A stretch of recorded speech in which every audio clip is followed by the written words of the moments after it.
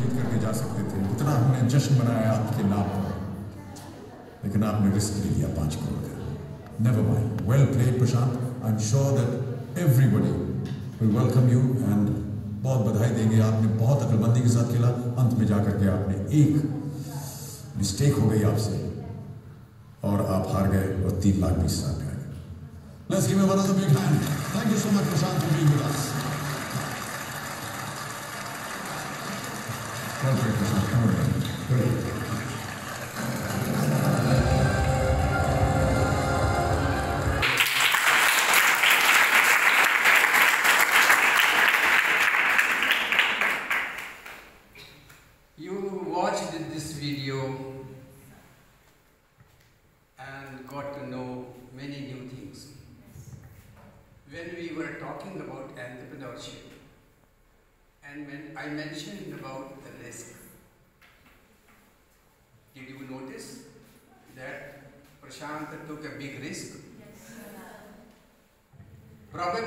was 5 crores on the one side and 3 lakh and 20 crores, uh, 3 lakh and 20,000 on the other hand. Can you calculate the loss? आराम से इसको घटाइए एक करोड़ में से तीन लाख बीस हज़ार how much amount did he lose big amount big money तो इस रिस्क को आप क्या कहेंगे? एक बार वो कह रहे थे कि मुझे ज़रा कुछ मैं किसी से और हेल्प ले लूँ। गणपति बप्पा का नाम ले रहे थे कि उनसे वो कह रहे कि खेलो। पेरेंट्स से पूछा गया। पेरेंट्स ने कहा कि नहीं नहीं, अगर श्योर नहीं है तो नहीं खेलना चाहिए। एक्सपर्ट जो बैठे थे उनसे पूछा गया। कि क्या आपका ख्याल है कि शुड ही प्ले और ही शुड नॉट उन्होंने भी कहा कि नहीं नहीं नहीं, अगर ये बहुत श्योर नहीं है तो नहीं खेलना चाहिए, क्योंकि अभी तक बहुत अच्छा खेलते चले आ रहे हैं। और अमिताभ बच्चन कह रहे थे कि होशियार हो जाइए। होशियार हो जाइए, देखिए बहुत बड़ा रिस्क है। जीत के साइड में भी और हार के साइड में भी लेकिन इनके प्रशांत के बिहेवियर में आपको क्या चीज़ दिखाई दी?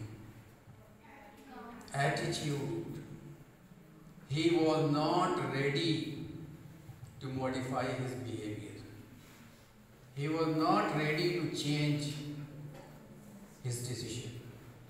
Adamant थे. आप इसको सुपरस्टिशन कहिए, या इंट्यूशन कहिए, या हर धर्मी कहिए। आप कुछ भी कह दीजिए, ये आपके ऊपर है। लेकिन एक बात तो बिल्कुल तय है कि at least one thing was there that was in attitude क्या आप समझते हैं कि रिस्क में सॉरी एंटरप्रेन्योरशिप में रिस्क नहीं होता है? होता है। All entrepreneurships have risk element of risk it दो चीज़ें हैं एंटरप्रेन्योरशिप में बहुत गंभीर और बहुत भारी। एक है दी एलिमेंट ऑफ़ रिस्क और दूसरा है पैशन और एक और चीज़ है जो आपने अभी देखी दैट इज़ एटीट्यूड तो सवाल ये है कि अगर हम कहते हैं कि हमारे एंटरप्रेन्योरशिप में रिस्क है अगर तो क्या लोगों को एंटरप्रेन्योर नहीं बनना चाहिए? बनना चाहिए। बिल्कुल आपका आंसर सही है। बनना चाहिए। और आई टेल यू कि आप मेरे यहाँ जितने लोग बैठे हैं, उनमें से बहुत से लोग आगे चलकर एंटरप्रेन्योर्स बनेंगे। मैंने बहुत लोगों को पढ़ाया है। अभी एक मैडम यहाँ पर मेरे बारे में बता रही थी। कि 48 इयर्स इसी फ़ील्ड में मैं रहा हूँ। और रिटायरमेंट को भी मेरे आज तकरीबन चौदह साल हो चुके हैं। जिस दिन से मैं रिटायर हुआ हूँ, उस दिन से लेके अभी मैं इसी में एकेडमिक्स में हूँ ट्रेनिंग में हूँ कंसल्टेंसी में हूँ, आज भी।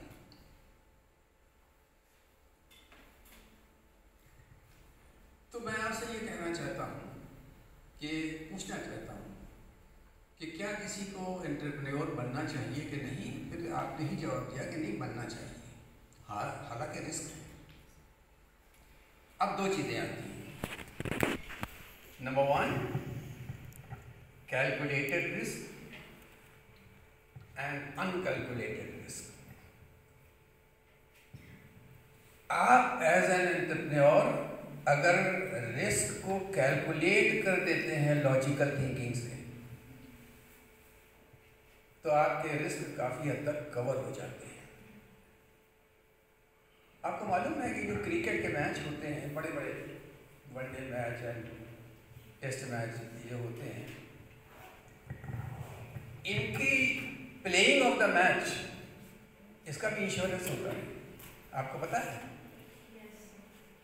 वो इस तरह से कि एक मैच होने वाला है इंडिया और साउथ अफ्रीका के बीच। मोहाली में हो रहा है, मान लीजिए। तो मोहाली में उस मैच को देखने के लिए लाखों लोग, हज़ारों की तादाद में लग जाते हैं। और सब लोग पहले एडवांस में टिकट खरीद लेते हैं। अगर बाई चांस कोई बात अगर हो गई और खेल ना हो पाया तो जिसने टिकट खरीदा है, वो तो जाकर कहेगा कि साहब, मेरे पैसे वापस कर दीजिए। खेल तो हो नहीं रहा है। तो ये ऑर्गेनाइजर्स जो हैं, ये कहाँ से पैसे वापस करेंगे? कितना तो इंतज़ाम कर लिया है प्लेयर्स को बुलाया है, उनकी फ़ीस दी है, पूरा पैराफर्डेलिया क्रिएट किया है। एक सिस्टम बनाया है आपने। कितना पैसा ऑलरेडी खर्च हो चुका है? ये पैसे कहाँ से देंगे? ऑर्गेनाइजर्स इसके लिए वो इंश्योरेंस करा लेते हैं। गेम का इंश्योरेंस करा लेते हैं।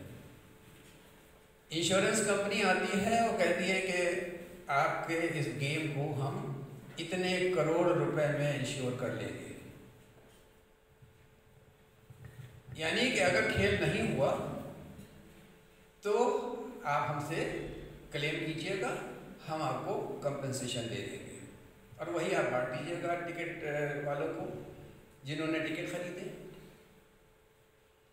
तो अब आते हैं, खेल शुरू होता है। और ये इंश्योरेंस जानते हैं कब शुरू होता है और कब ख़त्म होता है। इंश्योरेंस की पॉलिसी ले ली ऑर्गेनाइजर्स ने। अब टॉस किया जा रहा है। उसके बाद बॉलिंग की जाएगी। जैसे ही पहली बॉल फेंक दी जाएगी, कंपनी इंश्योरेंस कंपनी ये मानेगी और ये एग्रीमेंट है दोनों में ऑर्गेनाइजर्स में और इंश्योरेंस कंपनी में, कि जैसे ही पहली बॉल फेंक दी गई, ये माना जाएगा कि खेल शुरू हो गया। अब कोई कंपेंसेशन नहीं दिया जाएगा। इसके बाद बारिश हो जाए राइट हो जाए, कुछ हो जाए अब नहीं दिया जाएगा, क्योंकि खेल तो शुरू हो चुका है। Which means it is a calculated risk it is an example of calculated risk यहाँ पर क्या होगा? इस वीडियो में आपने देखा कि कैलकुलेटेड रिस्क नहीं था। सब लोग मना कर रहे थे सब मना कर रहे थे लेकिन वो एडमिट थे। तो इसे आप ऑडेसिटी कहेंगे या क्या कहेंगे ये आपके ऊपर है? नाउ आई सेड दैट अभी लगान का नाम हमने गौरी के नाम जब गौरी ने अपना नाम बताया तो मैंने मुझे लगान का की याद आ गई। How many of you have not seen Lagaan movie not seen एक, दो हाथ हैं। तीन, चार, पाँच, अरे, गुड। मैं ऐसे सजेस्ट करूँगा कि आप उस फ़िल्म को देखिए। उस फ़िल्म में एक सीन है। आप भूल गए होंगे उस पूरे फ़िल्म को। थोड़ा सा बैकग्राउंड है ये, कि उस फ़िल्म में सिस्टम ये था कि ये पुरानी 1890 या 1800 की बात की, का टाइम है जब। उस वक्त हमारा जो कंट्री इंडिया है, ये स्टेट्स ऐसे नहीं होते थे। बल्कि एस्टेट होते थे E S T A T estate जैसे मान लीजिए कि नवाब हैदराबाद हैदराबाद एक स्टेट था, जूनागढ़ स्टेट था। इसी तरह से पटौदी स्टेट था, अपने यहाँ यूपी में Rampur state Sisendi state and this राजे रजवाड़े हुआ करते थे। तो राजे रजवाड़े जो होते थे, ये मालिक होते थे अपने एरिया का, लैंड एरिया का। और ऊपर कौन था? ब्रिटिशर्स थे। वो हुकूमत कर रहे थे इंडिया में। तो उनका सोर्स ऑफ़ इनकम जो था, ब्रिटिशर्स का, वो बहुत से अलग अलग सोर्सेज थे। उसमें एक सोर्स ये था टैक्सेस एंड टैक्सेस जिसको लगान कहा जाता था। एग्रीकल्चर प्रोड्यूस होता था। उसका किसान लोग खेती करते थे एग्रीकल्चर प्रोड्यूस पैदा करते थे। उस एग्रीकल्चर प्रोड्यूस को वो जाकर जमा करते थे राजा के पास। राजा उसमें से अपने पास कुछ रख लेते थे और उसके बाद ब्रिटिशर्स को दे देते थे कि ये लीजिए, ये लगान आया है।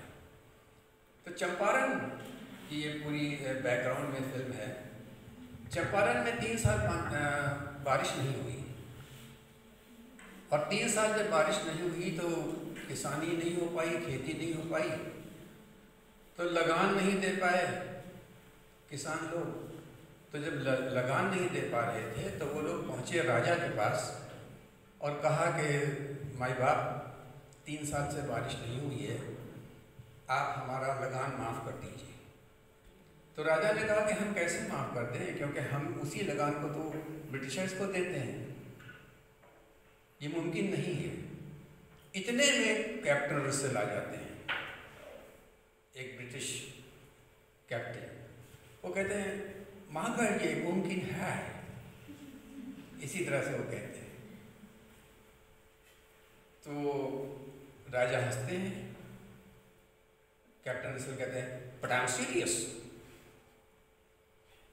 फिर वो इसका बैकग्राउंड बड़ा लंबा चौड़ा है। I am cutting it short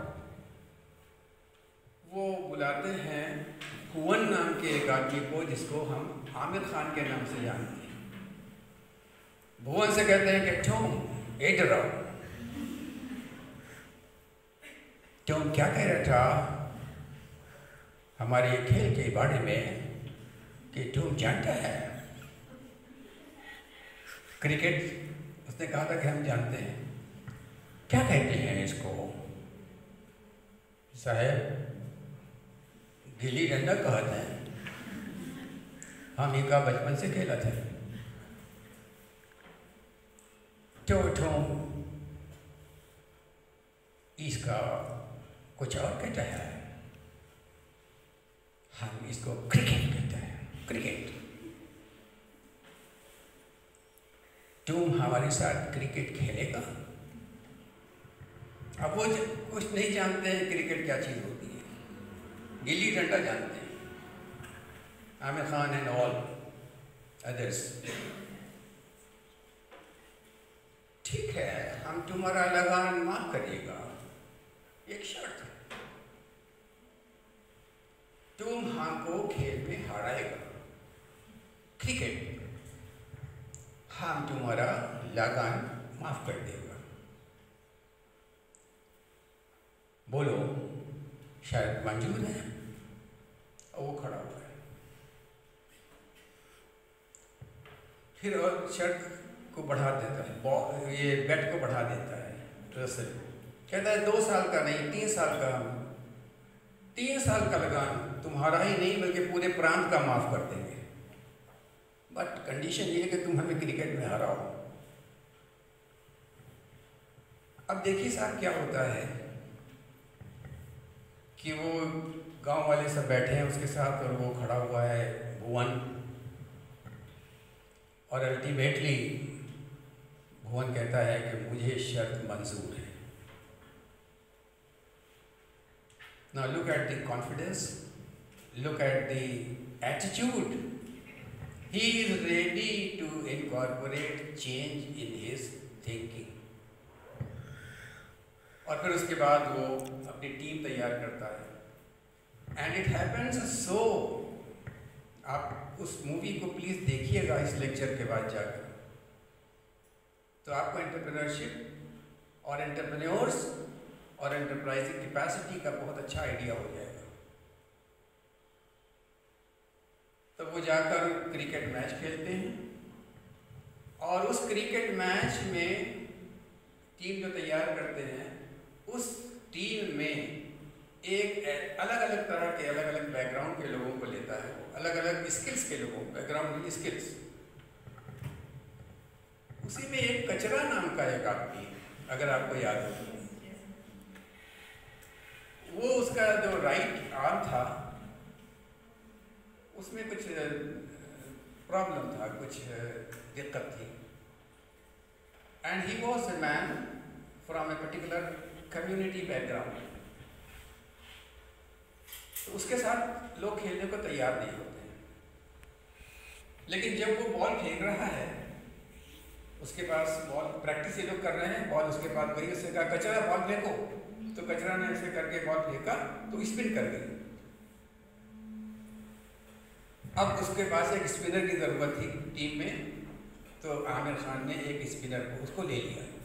लोग तैयार नहीं उसके साथ खेलने कि इसका तो बैकग्राउंड ये है, हम इसके साथ लेकिन वो कहता है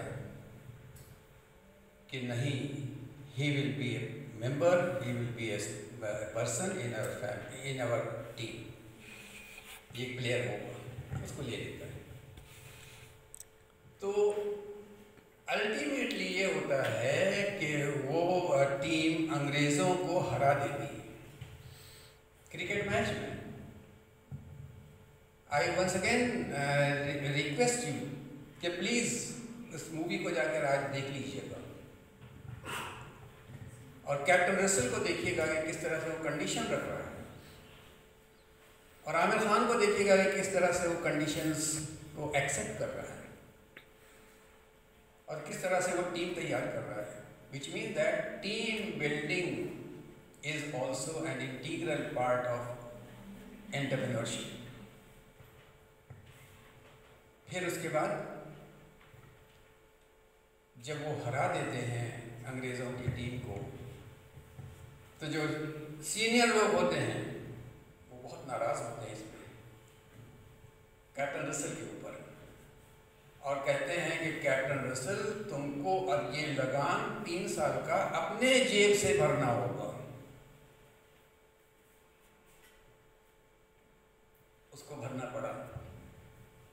और as a punishment captain Russell was transferred from India to central Africa as a punishment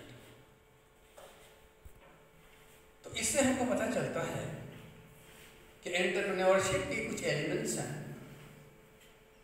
जिसमें team building confidence attitude motivation behaviour decision making, plenty of other factors are there. Now, we are going to another clip. Please, interview clip of KBC, uh, of uh, Three Idiots. Look at it.